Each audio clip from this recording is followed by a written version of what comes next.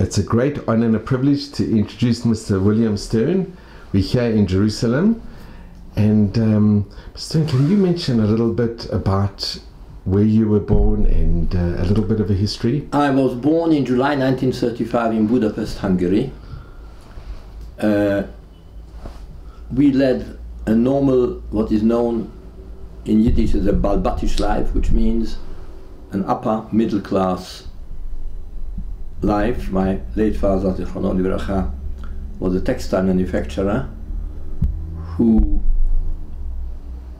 managed a factory which delivered textile goods to the Hungarian state. And that became terribly important because in that role, when the Germans invaded Hungary on the 19th of March 1944, he was freed from the obligation to live in the ghetto and he was able to help a large number of Polish refugees who had come to Hungary in 1942 and 43 with Parnassa because of the fact that he was a manufacturer of textiles at a time when the anti-Jewish laws which Hungary enacted already in 1939 put a great many Jewish textile retailers out of business. Uh, I led a normal life of a schoolboy attending school until 1944. Uh, we had a comfortable life, large apartment, and on Shabbatot, very many guests. In 42 and 43, which I remember, a great many Polish refugees who were our guests on Shabbat. I should add that although I consider myself as a Hungarian born Jew, it is uh, skin deep only in that my late father, Lechon was himself Polish born. He came as a boy of 13 to Hungary when his father, uh, who had deserted the Russian army, uh, fled uh, into Hungary in order to avoid the consequences of a possible Russian occupation of Poland. Uh, I remember distinctly Sunday, the 19th of March 44, because in terms of a little boy seeing the world, I didn't understand what Nazi occupation meant. What I did understand that my father said we must leave the house immediately. If not, he will be arrested because he was one of the prominent members of the community. And I remember for a week I slept on the sofa of some friend of the family until he felt it was safe to return. The next thing I remember is late June 1944 when we assembled in order to board the train which became known as a Kastner train. It was a cattle train which took uh, a few days to reach Bergen-Belsen. We were stopped in Mosonmagyaróvár, which is on the Hungarian border with Germany and uh, with Austria, I should say, excuse me. Uh, and I remember that distinctly because we left, I think, June 30th from Budapest. My birthday is July 2nd, and we celebrated my ninth birthday in the fields of Mosonmagyaróvár, where I became, as a kid, brought up in a normal home in a city, became aware for the first time of the need for people to use uh, latrines in the fields because there was absolutely nothing else. Uh, we were piled together in the cattle train in a very uncomfortable manner. Uh, I recall one traumatic incident where one of the doors of the train was open and my late grandfather, where I, I should mention that in addition to my nuclear family, father, mother, uh, two siblings, a brother and a sister, my late father uh, was able to get the entire Stern family onto that group. So there were five brothers of his with their families. Total Stern group of 32 members of the Kastner group, including my grandfather and grandmother. So to come back to grandfather, he was uh, on a very hot day as the train was making its way to Germany, sitting with his feet outside the train and riding when suddenly I hear a commotion and they wanted to keep him back. He was about to jump. That I recall distinctly. Uh, but anyway, he didn't. He survived. I come back to grandfather in Geneva in 1947 in just a few minutes. Uh, to come back to Bergen-Belsen, uh, I'll summarize my experiences as follows. My late father was a uh, the head of one of the barracks. The barracks housed about 120 men each. The makeup of the Kastner train group was a very mixed makeup. Kastner was a secular Zionist from Košice who organized the journey, but he needed money. And the money to bribe whoever needed to be bribed was collected from what I would say the upper middle class Orthodox Jewish population of Budapest. So in the same barrack you would find, in our barrack, four what became world famous Rabbanim, the Satmar Rabbi Rabbi Yoel Teitelbaum, and um, uh, the Rab of Debrecen, Rabbi Strasser, and Rabbi Jungreis, the father of the famous, now late Rebbetzin Jungreis, who was a girl my age. She was a girl of nine in the ladies' barrack when I was in the men's barrack. And Rabbi uh, Jonathan Steif, who was a Dayan in Budapest and became a Dayan subsequently in Williamsburg in New York. So on the one hand, you had this very right-wing religious element, and you had a totally secular, for lack of a better definition, left-wing, left-wing uh, Uh, element. How did it become problematic? Because everyone had to have his Toranut, his obligations of cleaning, not only the barrack but also the latrines. And clearly, my father wouldn't allow the Rabbonim to have to do that job, something which upset the secular Jews very much.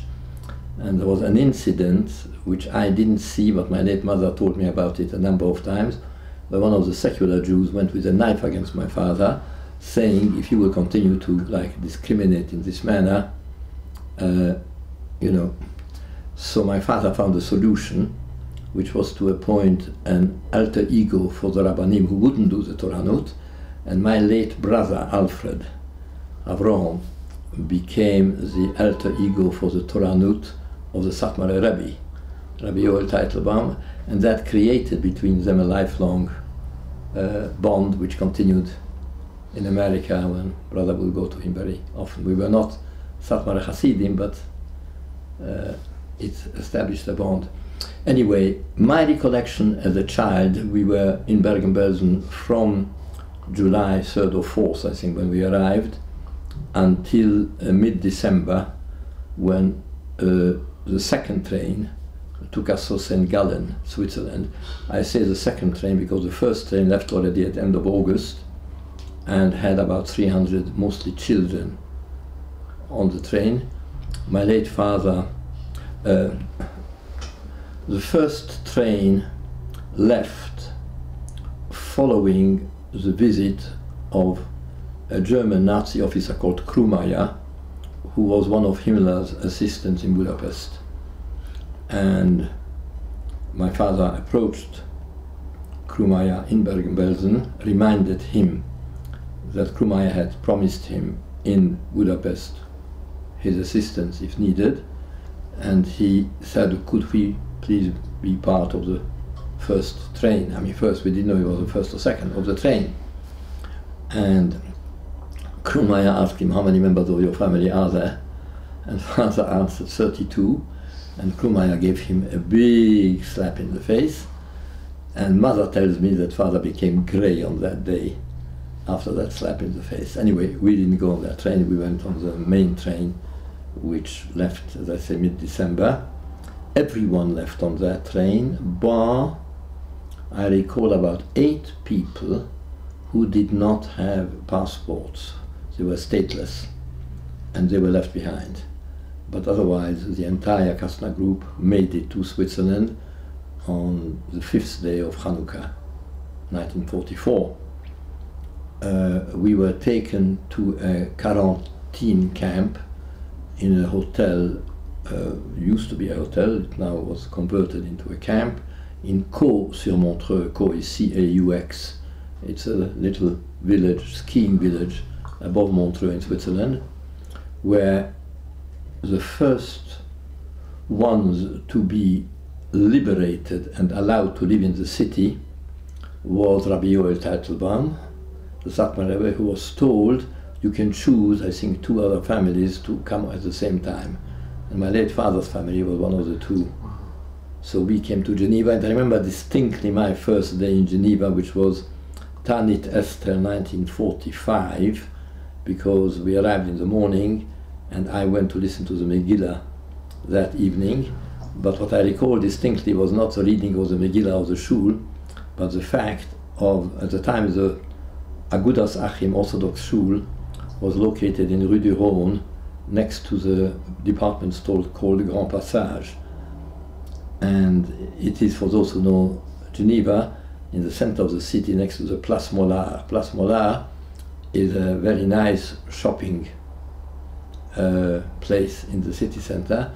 And I, who had come from concentration camp, I remember just my amazement of seeing shops where people could go in and buy things and circulate and didn't have to report or to, to be afraid of anything. It was my first taste of freedom. And uh, the impressions remained with me all my life. Uh, subsequent history you want to know also? Can I just ask, um, when you were near Montreux, did you ever come into contact with Recha Sternbuch? Or the Sternbuch Um, family? My father did. I, I was a kid. Yeah. Yeah, we knew Rechi Sternbuch. Very much so. I remember very much when we arrived to Montreux on the train, I remember a delegation of Jewish people headed by her welcoming us and giving, I think, sweets to the children or something. Very much so. Very much so. And just with regard to the Kastner train, which is when they had the they had the trial, the Kastner trial. Did they ask your family to No. uh, No, to give evidence or? no, no, my father was not involved in that at all. Uh, the reproach made to Kastner was that he failed to inform Hungarian Jewry of the horrors of the concentration camps and the mass killings that were going on, and he made it sound all very nice and sweet, and thereby prevented or was instrumental in preventing what could otherwise have been, I don't know, a Warsaw ghetto type of rebellion. That is a basic reproach. Um, my attitude and was purely to say that in Jewish history, uh, when situations of life or death arose,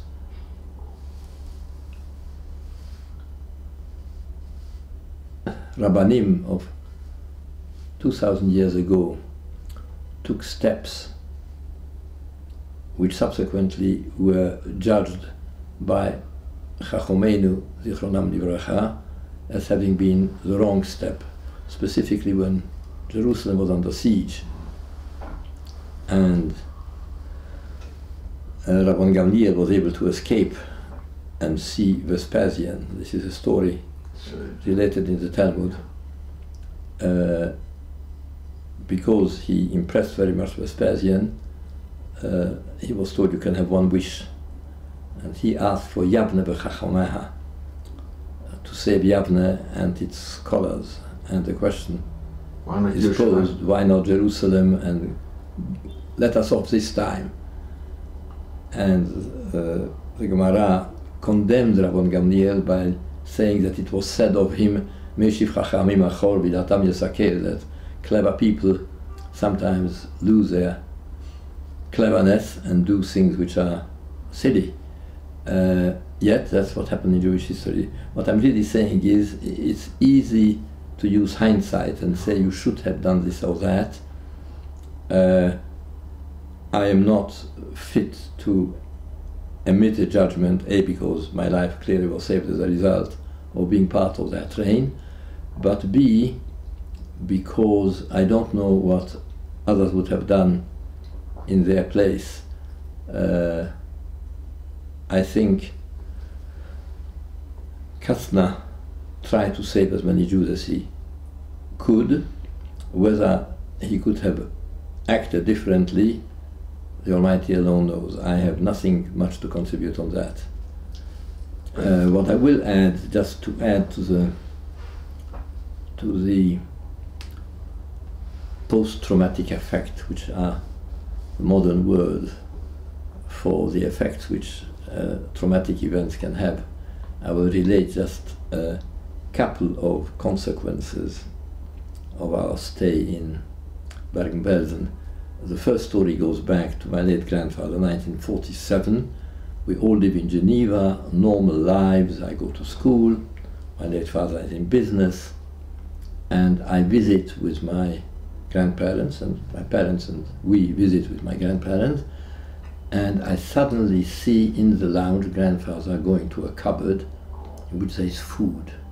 And I couldn't understand why there was food in a cupboard when there was a kitchen there. And I found out that the hunger which he had suffered made him, after the war, hoard food within his own home. He wouldn't just trust the availability of food in the kitchen, although it was his daughter and son who were in charge of the household, but he had to have his own little hoard. I personally have a little story to tell, and you, Mr. Glassman, saw me drink coffee Mhm. and jam, right. which is unusual. And Very that story of the jam goes back to Bergen-Belsen. I will explain to you why. Because uh, my late mother, the Zichrona Bracha, would be in the women's barrack. And she would, on the very thin piece of black bread which we had, prepare a sandwich or put some butter on it and jam and asked me to take it to my father. But I was hungry and I was tempted, so I licked off the jam and then spread the rest of it thinner, and it left me with a complex of theft all my life. I was stealing jam from my father, and I retained a craving for jam, which today, and I'm in 84 years old, makes me, instead of sugar, have jam with my coffee. And you've kept this tradition to this very day. That goes back to Bergen-Belsen. These are small, seemingly silly uh, effects. Right. Um, I just went to. Uh, that is unbelievable, and it's a nice you want to hear about Cobham a little bit? wow, Mr. William Stern, it is the greatest honor and the privilege to to meet you and to hear Nissin, to hear this. It's unbelievable. It really is. It's such a kavod, and I'm so grateful. And from the bottom of my heart, really, thank you so very much. You should just have mazel and bracha Thank you very good much. health. Amen. Thank you. And thank you very, very much. And you should continue your good work. Thank you so much.